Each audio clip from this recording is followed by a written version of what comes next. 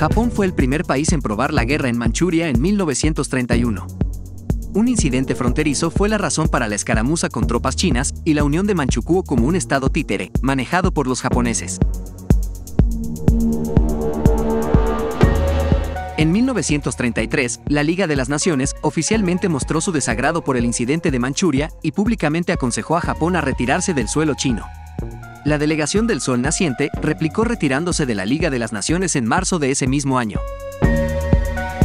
En 1937, una guerra a gran escala, aunque no declarada, fue lanzada contra los 400 millones de chinos. La invasión comenzó el 7 de julio. En agosto 13, la batalla por Shanghái dio comienzo. La guarnición británica en la ciudad china se preparaba para defenderse en el caso de que la guerra brincara hacia el establecimiento internacional.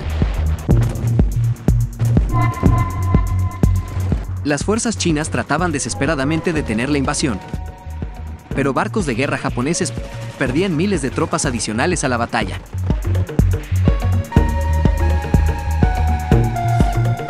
Aviones enemigos dejaban caer un gran número de bombas sobre las sitiadas ciudades chinas.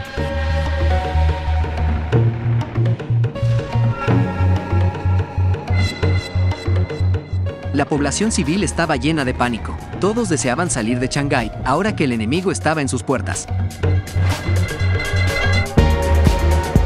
Cientos de miles de ellos suplicaban se les dejara entrar al establecimiento internacional, el Santuario de Protección Americana y Británica.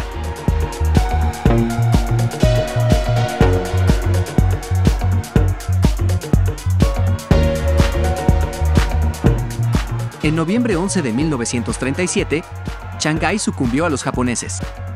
Las fuerzas del emperador tomaron el mando de la apaleada ciudad.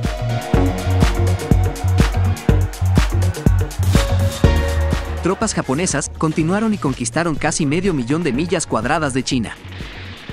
Su máquina militar de alto poder capturó seis de las ciudades más grandes del país.